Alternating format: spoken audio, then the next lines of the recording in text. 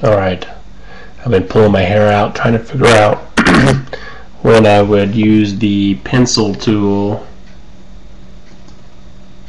Uh,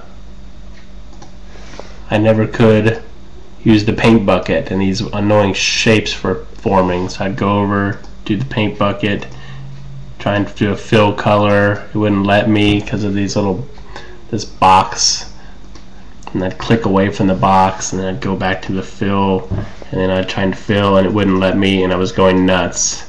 And I finally figured out what it is. When you use your pencil tool or brush or whatever it is, there's a thing down here called object drawing. You don't want that selected.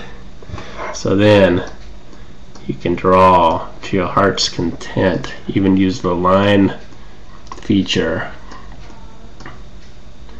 and then when you use paint bucket it'll let you fill.